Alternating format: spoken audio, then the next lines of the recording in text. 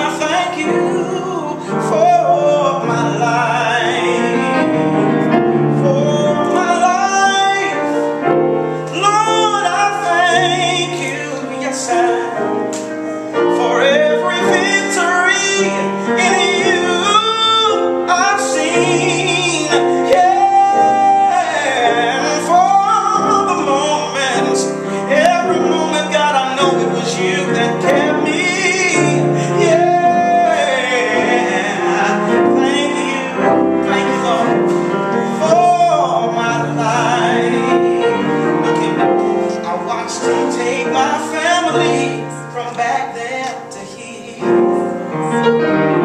And when times were a little rough, God was always near. Yes, He was.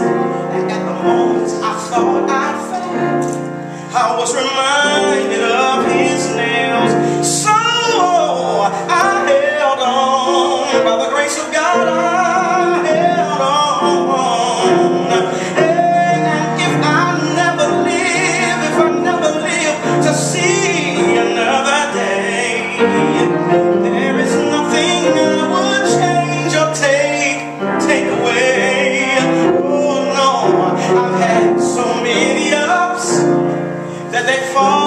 I'm with my dad.